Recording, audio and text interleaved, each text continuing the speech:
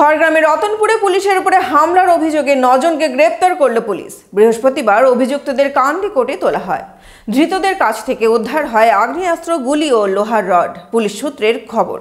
Baharampur city hospital private limited এখন আরও আধুনিক। আসতে চলেছে সিটি স্ক্যান আইভিএফ পরিষেবা। Baharampur city hospital private limited, Chaltia, Baharampur, Murshidabad. খড়গ্রামের রতনপুরে পুলিশের ওপর হামলার অভিযোগে নজনকে গ্রেফতার করল পুলিশ। পুলিশ সূত্রে খবর, বুধবার রতনপুরে পুলিশের ওপর হামলার অভিযোগ ওঠে।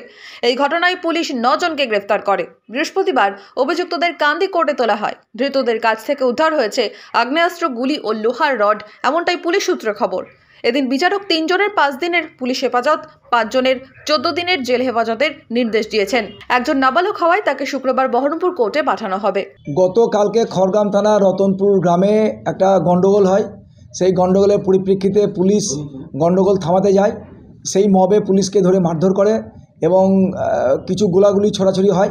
তার পরিপ্রেক্ষিতে পুলিশ একটা সুমোটো কেস স্টার্ট করে এবং সঙ্গে সঙ্গে পুলিশ নজনকে অ্যারেস্ট করে।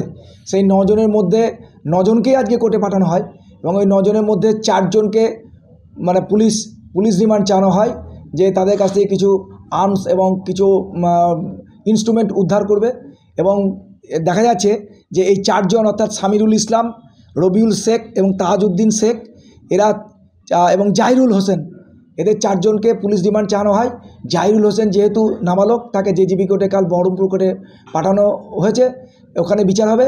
আর বাদবাকি সাবিরুল ইসলাম, রবিউল শেখ এবং তাহাজউদ্দিন শেখ, এদেরকে পুলিশ রিমান্ড চানো হয় সাত দিনের। কোর্ট চার দিনের পুলিশ রিমান্ড অ্যালাউ করে। পাঁচ দিনের পুলিশ রিমান্ড অ্যালাউ করে। মধ্যবঙ্গের সমস্ত খবরের দ্রুত আপডেট পেতে সাবস্ক্রাইব করুন আমাদের ইউটিউব চ্যানেল মধ্যবঙ্গ নিউজ। সমস্ত খবরের দ্রুত নোটিফিকেশন পেতে বেল আইকনে ক্লিক করুন।